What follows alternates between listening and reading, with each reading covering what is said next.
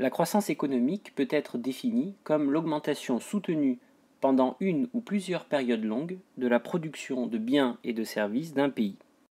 Nous verrons notamment dans une prochaine vidéo que la croissance économique se distingue de l'expansion économique, qui elle a lieu sur une période beaucoup plus courte.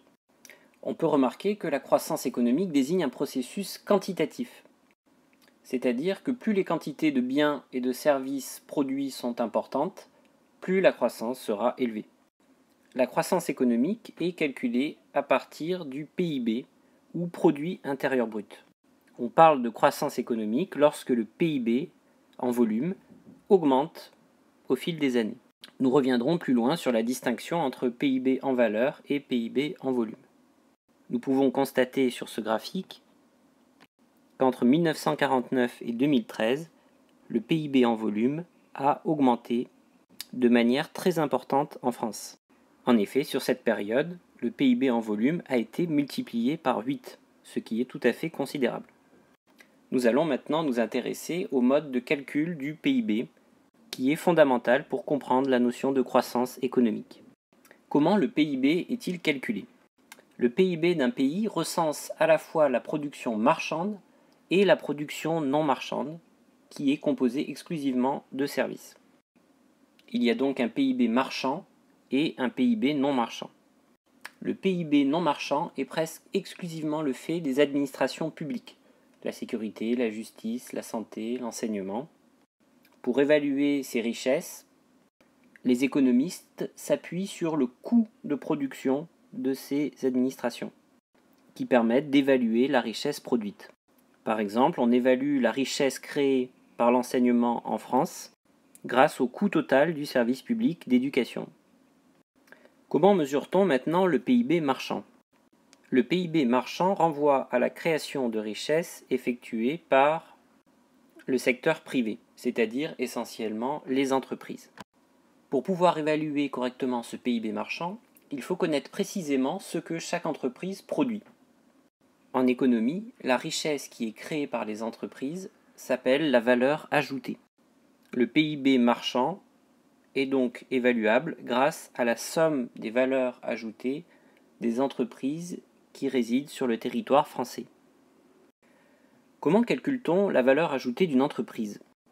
Pour mesurer la richesse réellement produite par une entreprise, il faut enlever à son chiffre d'affaires toutes les consommations intermédiaires, c'est-à-dire tous les produits qui ont été créés par d'autres entreprises et qui sont entrés dans le processus de production.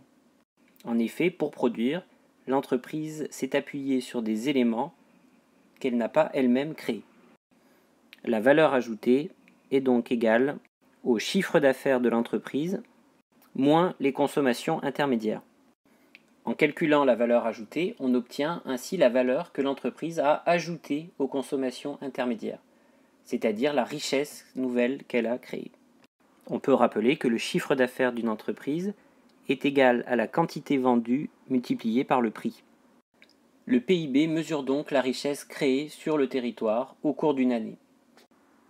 Nous avons observé tout à l'heure l'évolution du PIB en volume entre 1949 et 2013. Les économistes distinguent de façon classique le PIB en valeur et le PIB en volume. Cette distinction vient du fait que d'une année à l'autre, les prix peuvent varier dans une économie. Par conséquent, pour pouvoir comparer le PIB d'une année à l'autre, il est important de prendre en compte l'évolution des prix. Il faut donc éliminer les effets de la hausse des prix si on veut mesurer uniquement la variation des quantités. Prenons un exemple tout simple. Dans un pays, le PIB en valeur en 2014 s'établit à 100 unités monétaires. Imaginons qu'il y ait une hausse des prix de 10% l'année suivante, mais que le pays ne produise pas plus de richesses. Dans ce cas-là, le nouveau PIB en valeur en 2015 va s'établir à 110 unités monétaires. On constate que le PIB en valeur a augmenté entre 2014 et 2015. Cependant, dans les faits, les quantités produites n'ont pas augmenté. Ce sont uniquement les prix qui ont contribué à augmenter le PIB en valeur. Le PIB en volume, appelé aussi PIB réel ou à prix constant, permet de mesurer uniquement le volume de la production. De cette manière, le PIB en volume sera exprimé au prix d'une année de référence. C'est-à-dire, on fera comme si les prix n'avaient pas bougé entre l'année de référence et l'année considérée.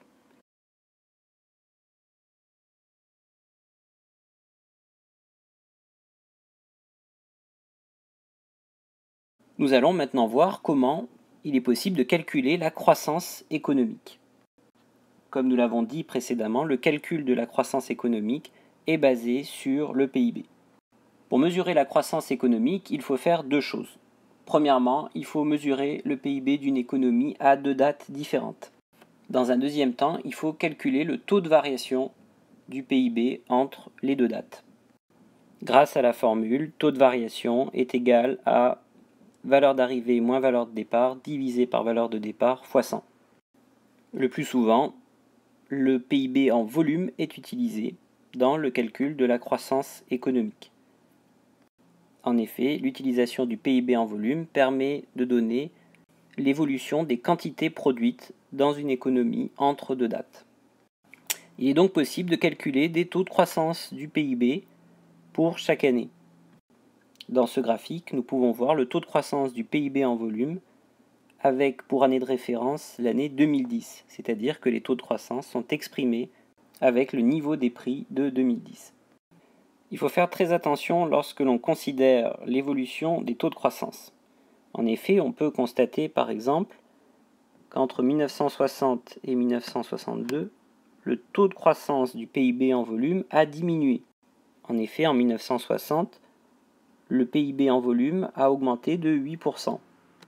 En 1962, le PIB en volume a augmenté de seulement 5%. Cela ne signifie en aucun cas que le PIB a diminué. Cela signifie simplement que le taux de croissance est plus faible, c'est-à-dire que le PIB a continué d'augmenter, mais à un rythme moins soutenu.